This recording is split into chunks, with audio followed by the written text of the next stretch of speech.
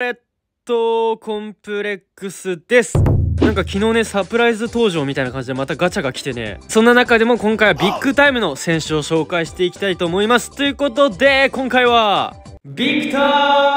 イムダビド・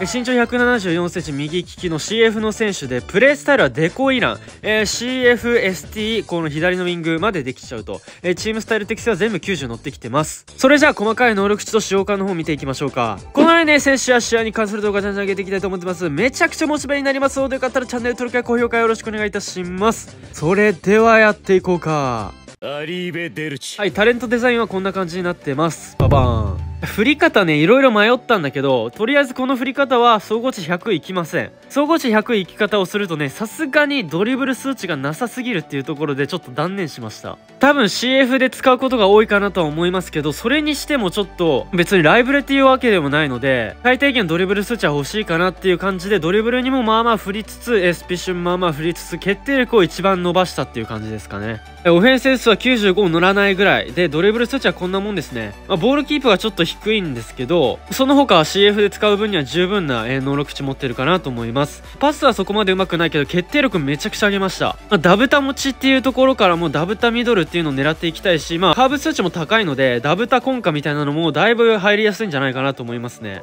そしてこのスピシュン。TS70 でもこのスピードは80乗ってくると。えそしてキック力だいぶ高いですね。だから決定力は本当に高いんだろうな。ちょっと体の弱さはあるかもしれないんだけどスタミナ十分ありつつえ逆足の精度やや低い普通のコンディション並み小さい。えスキルえシザスダブルタッチルーレット結構こういうフェイントは多いですね。で軸裏ターン持ちつつ足裏コントロール。そしてシュート系のスキルはだいぶ多いですね。根幹持ちつつワンシューまであるのはありがたい。アウトスピンキック持ちっていうのもだいぶでかいですね。逆足の精度そんなに高くないんだけど右 CF で使ったとしてもアウトスピンキックで蹴ってくれるので、まあ決定力に支障はないんじゃないかなと思います。それじゃあ早速このビジャねどんだけ強いのかちょっと試合の方で見ていきましょうか。それではどうぞ。はいビジャ使ってみたんですけどまあ普通に強いんじゃないかなと思いました。まあタッチはねそんなに細かくないからちょっとのそっとしちゃう感じはあるんだけどスピードもすごい高いっていうほどでもないから自分でこうぶち抜いていくっていうそこら辺の力はあんまり期待しない方がいいと思います。本当に前線で、えーボールもらってダブタでこうシュート狙ったりとか演習の抜け出しというのはもうオフェン高いからピカイチなので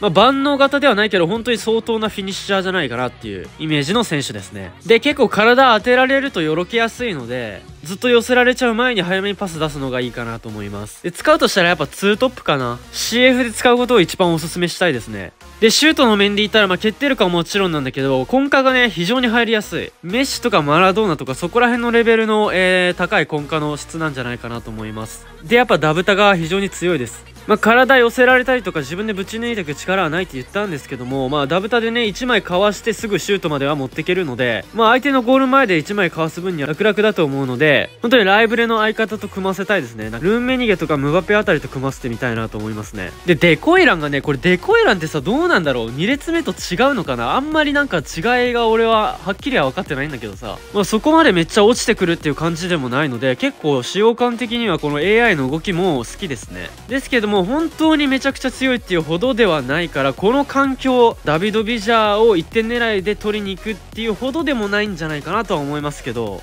美課金の方でも取りに行かなくていいかなえ結構コレクションしていきたいみたいな方は、えー手に入れてみてもいいかもしれませんね。